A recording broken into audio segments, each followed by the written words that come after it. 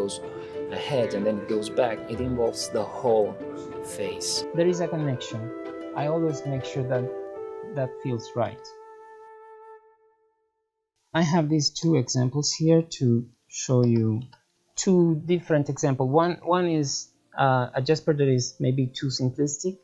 It, it's drawn a little bit uh, oversimplifying, and the other one that is a little bit too complex, even if the drawing is fantastic, is one of Valentine's drawings. But it could benefit maybe from some simplification. Okay, so this is probably what you're gonna the, the extreme cases that you can can find when you're cleaning up. He's awesome. Toys are the best.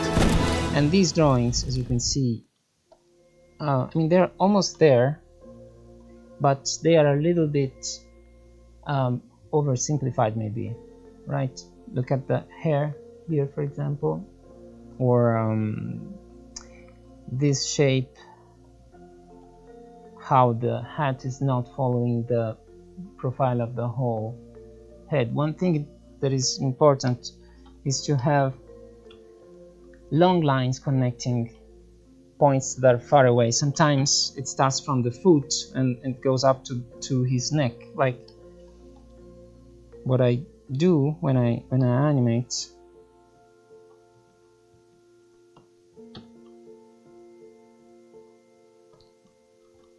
is I treat the body as one single shape, like this, see this whole line of action.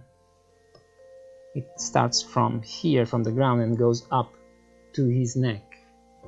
Th that line has to be there.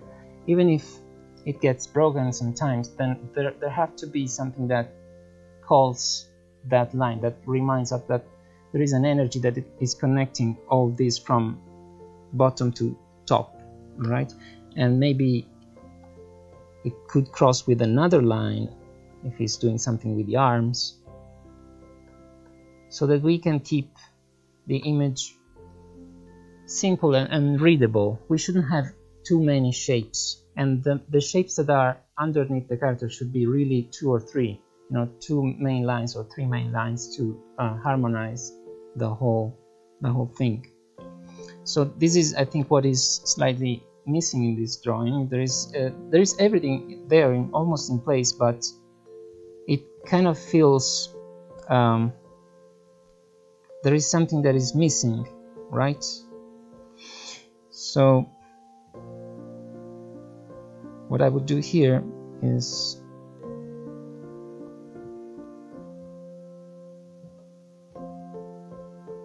try and rebuild the drawing from scratch and, and see how much we can improve it.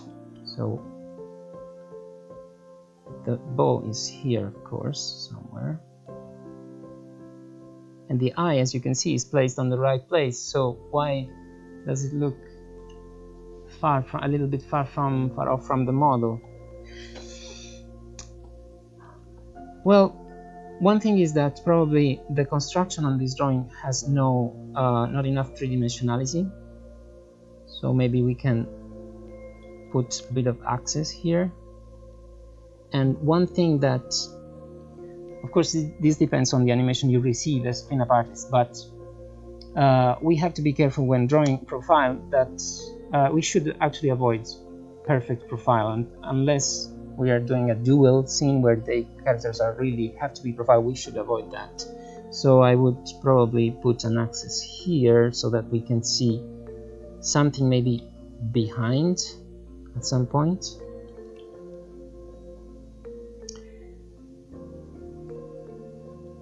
so this shape of the nose is is missing his attachment to the to the head I don't see where it attaches now I can see it a little bit better. Don't be afraid of getting pointy here on the nose when you draw the nose. The nose is again one, two, three lines. You can you can get away with three lines. You don't need to do more than that. Uh, if you when you get on this bit here, I can see that on the latest Thor's drawing he's doing this, which is because of the eyebrow volume here. And that, that's correct. So we are doing literally four lines. One two three four. And this part is usually nice if it's pointy. So you don't have to do this. Okay?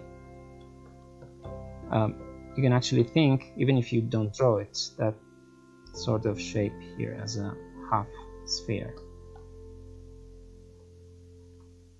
And now I would need to find the mask here.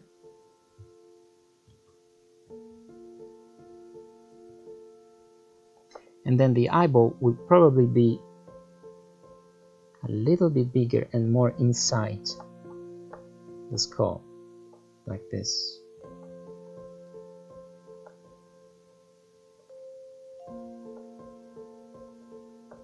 and also we would be able to see maybe part of the other eye behind it here. This would give a little bit more three-dimensionality to the character and would make it look a little bit less flat. Now also you can see that the way he drew the mouth is a little bit too in the middle of the space between the nose and the, the end of the chin. So I would bring that up a little bit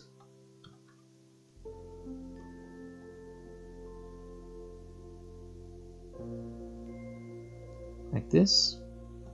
Whenever the mouth is pointing outwards, we should see at least the this lip here.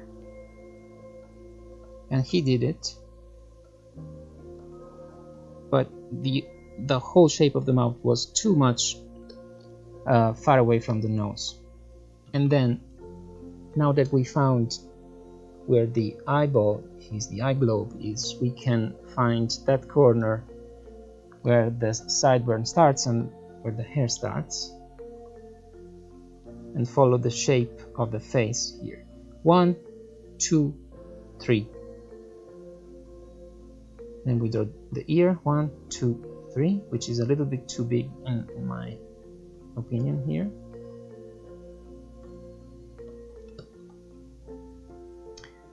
Eyebrows.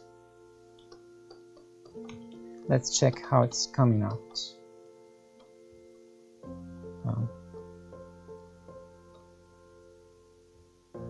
Could be. And then this line here of the head is a little bit too flat. It's too straight. Maybe it needs a little bit of three-dimensional curve here and then we draw the hair one two three four lines. This could be a little bit rounder. And then our Donald Duck. Beak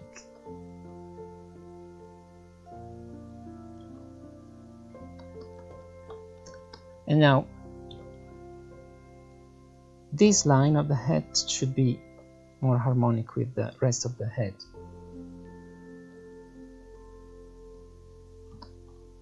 maybe a little bit more down here.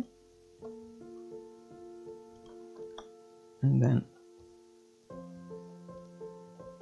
the rest of it like this. Okay so what, it didn't change that much if you think about it but those small changes make quite a lot of difference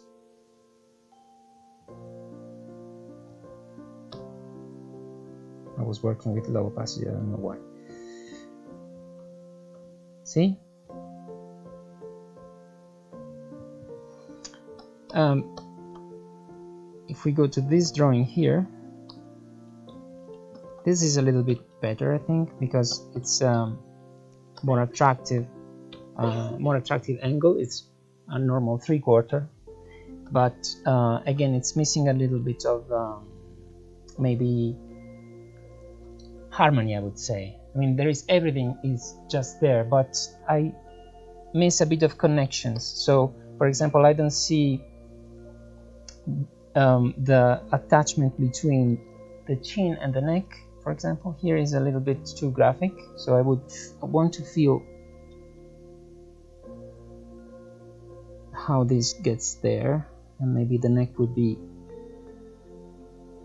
closer there it really almost all the time Jesper has this sort of uh, feeling. And this line goes from the neck here up to the skull and it goes down to the collar and then the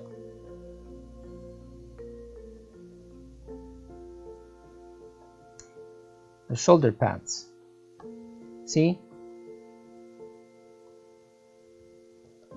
this single line it's a single curve that um,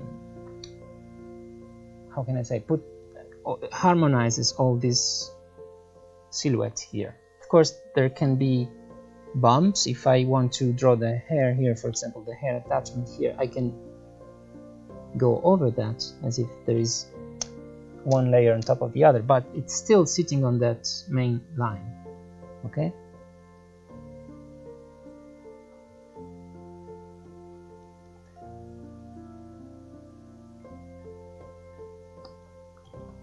Now draw the axis here.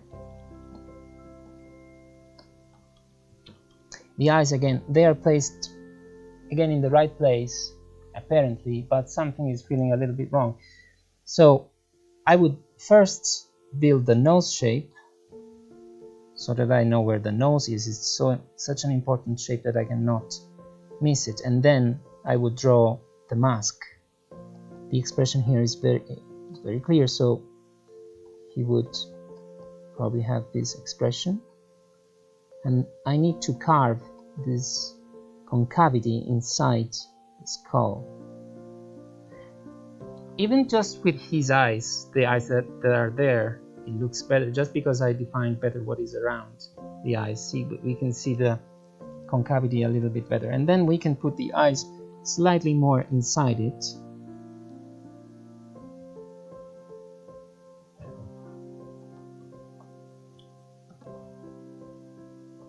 So it looks like that they are actually sitting inside this shape.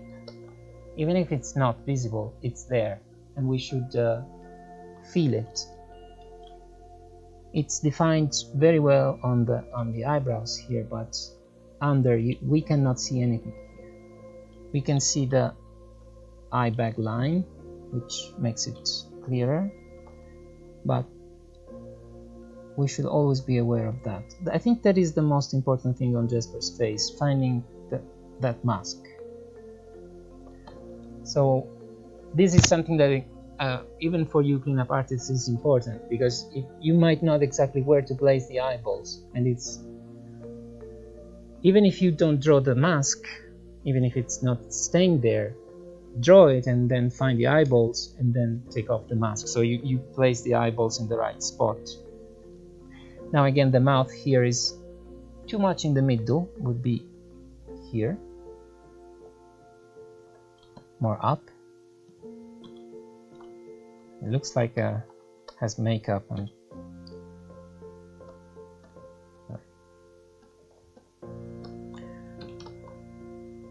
and so I would now draw the sideburn.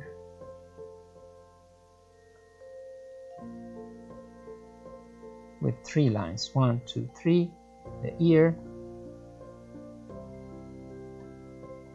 and the hair one thing about the hair is that according to the expression, for example, what I do is if he, if he has uh, wide open eyes and his eyebrows are going up like this, I make sure that this line, I'm talking about this line here, follows this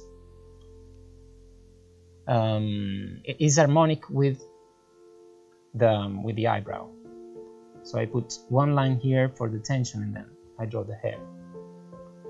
This will give us the feeling that he's really pulling his eyebrow back. So he's to, to make the eyes wide open and so all the skin is compressing there okay? Under the the, the brim of course or if, if he has it. This part is still visible even un, under the brim. So it will keep the expression visible even if most of the eyebrow is covered by the brim. See I, I can't see the whole brim but I can feel that it's pulled there.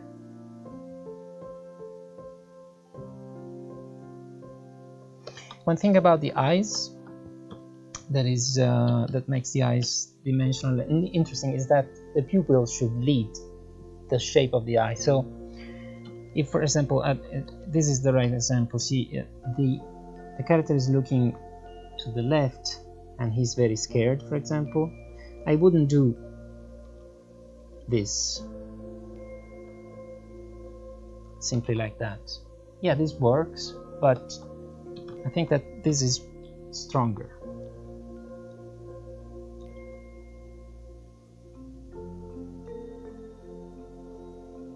so the pupil is slightly pulling. You can even force it more.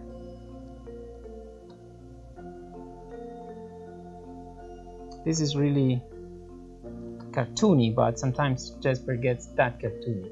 We wouldn't do this on Klaus but on Jesper we can do this.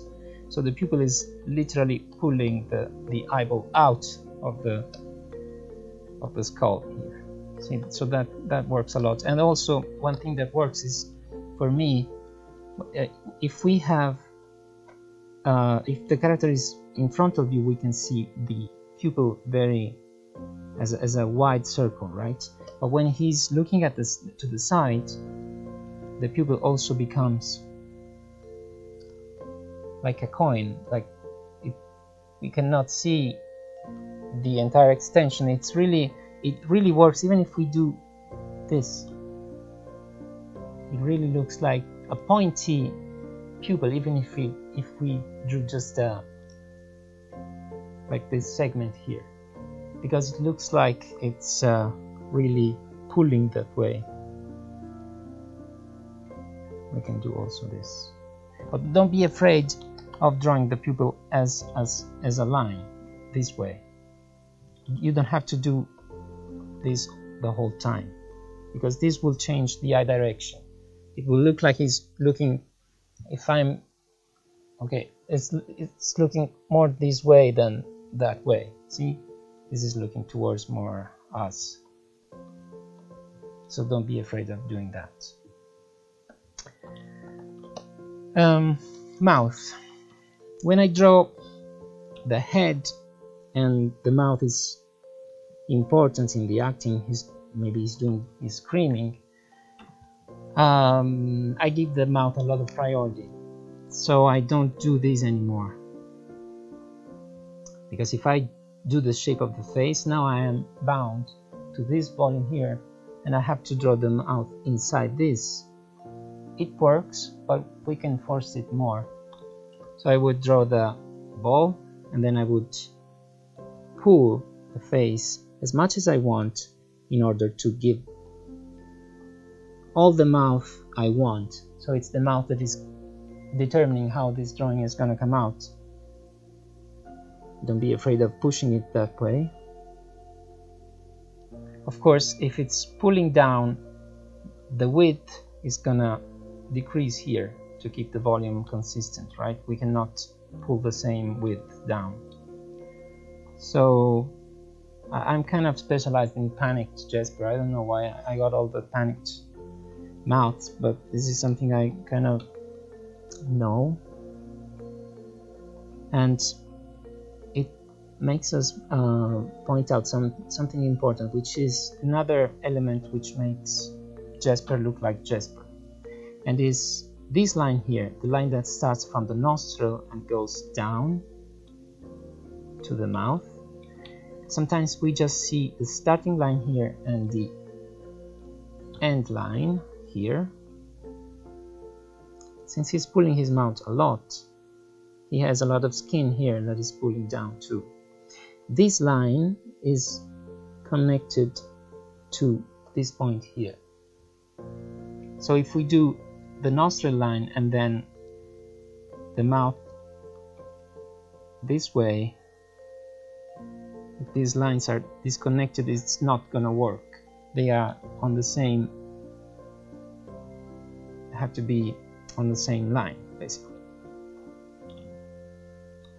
and so we find the other end here, it kind of goes theoretically to the other end, to the other point here, to the other nostril, even if we don't see it, even if it's hidden there. So, I hope it was a phone. um, um, so whenever he pulls his mouth that much, if you look at some of the Thor's drawings uh, on uh, that scene, I think it's in Belle, the Belle sequence, uh, on uh, Simone Cirillo's scene when Jesper is breathing very heavy, he has his mouth open like this, and the, the sideburn, instead of being the typical composed sideburn like this, it gets wild because it's made of hair, of course. So we can we can do that when whenever the mouth is going so extreme. Okay, we, we can do that. There are some fantastic drawings by by Thor. Uh, about the, the shape of the mouth, as you can see, I don't draw the mouth um, in a very simple way. I mean, I use at least, uh, again, the least amount of lines, but you have to draw the, the mouth in a dimensional way, as if it is carved into the shape of the face here. So you have to feel this kind of carving into the shape of the face. See? Um, this line up under the nose here is usually usually follows the profile of the nose, but then when we go down, we can have a a sharp corner here, and then goes like this. And then we find, since we have this line here, we find the other symmetric line on the other the other end of the mouth. It's like seen from the top would be like I don't know if this is clear. I don't know if this drawing I'm doing is clear. I, I just rotated slightly so that we can see that this line is going. There is one single line that is connecting all this together. Okay, you should always think that there is a connection between things and and uh, make sure it even if the line is broken like this is the best example this line goes here even if it's not a continuous line it would be actually ugly if it was continuous but if we can suggest that there is a harmony between these it makes the tension more consistent. And we know where it starts from. It starts from here because he has sort of snark expression and that makes uh, the all the complexity simple in a way right? And we see we would see the teeth here. Uh, one note for for the cleanup artists the, uh, for the new ones um, I mean this is also an animation note but whenever there is a lip sync it's very very important that at least for me um, the distance between the nose and these uh, the, the upper teeth has to stay fixed okay? I mean it can squash and stretch if the character is squashing and stretching a lot but uh, it is important that you feel that this distance is fixed because those teeth don't move. They are sitting in the same part where the nose is sitting here. Like this is a one whole mass okay? These teeth move with the with the, the, the jaw but these one don't. So make sure that whenever you draw whenever you are cleaning up a lip sync the um, the upper arc of the teeth has to be consistent with the nose the distance has to be always the same if it is squashing, squashing and stretching you have to be careful that that amount of squash and stretch has to reflect on the teeth and on the nose, but think these as one single thing. Okay, this, I mean, this distance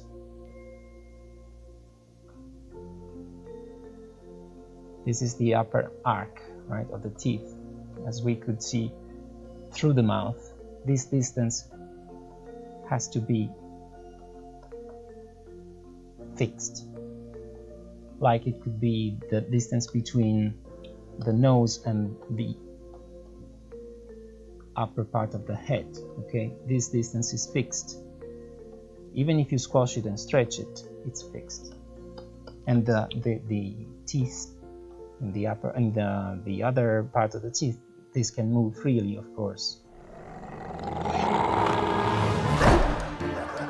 Okay, you win. What do you want? Money? My dad's got plenty of it. You know some big words, man? Please, please, please.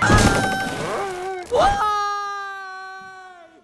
this is the drawing that um, I wanted to talk to you about as well. This is a very expressive and good drawing, but in my opinion, it tends to get a little bit too complex. So there is um, um, a lot of folds, like for example here on the collar, uh, one, two, three, four, five. There is a lot of work here, a lot of lines that could be maybe simplified if you find to, or, or for example, if you look at the buttons here on the on the um, shoulder pads, they have a lot of information that could be. It makes it crazy, but also it makes it slightly over complex, I think. So I would harmonize these shapes here, for example, this way. Um, so that this point is in a way connected to this point by one simple shape. Even if it goes inside the body and we don't see what's happening here, there is a connection. I always make sure that that feels right. So it will make your character look more harmonic if you think about that connection.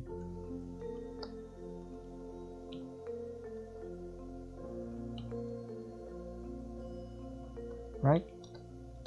And then the these buttons here, they this one is pointing there, this one is pointing there, this one is pointing there, and this one is pointing. I, I think there is a little bit too much, so that could be simplified a, a little bit.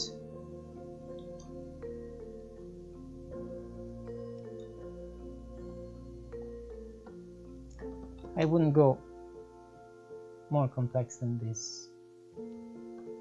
So it's uh, this is the case where we can simplify a little bit. Um, the collar, for example, is the is where I would simplify the most. This line is correct, and then I would try to understand what's happening behind here. The collar is connected to the neck, right? So in a normal position, Jesper would be would have this sort of look. So let's try and interpret this into this crazy version without forgetting this harmony here. So I would probably simplify this shape here into just one maybe um, I would choose where to place one single wrinkle and that's it making sure that this part here is visible that is going behind the head somewhere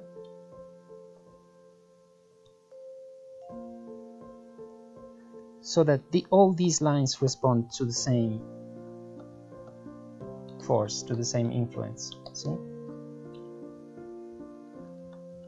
And then here,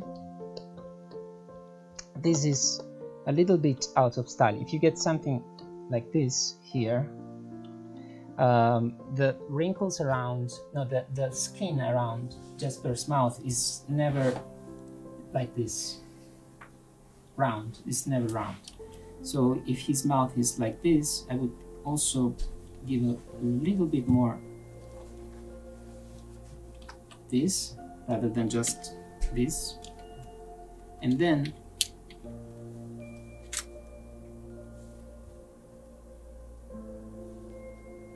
would do something like this. Make sure that this point is connected to the chin in, in a very harmonic way.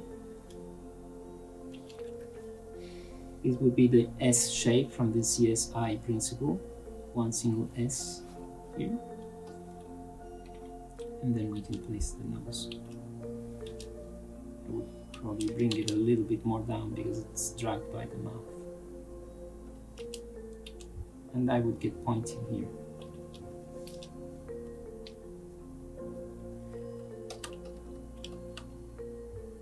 I would probably draw the, the whole mouth a little bit bigger, but that this can work as well. Sideburns would be pulled. Now this, for example, for me is a little bit strange because it's like everything is pulled, but the sideburns are not. So I would probably bring those down this way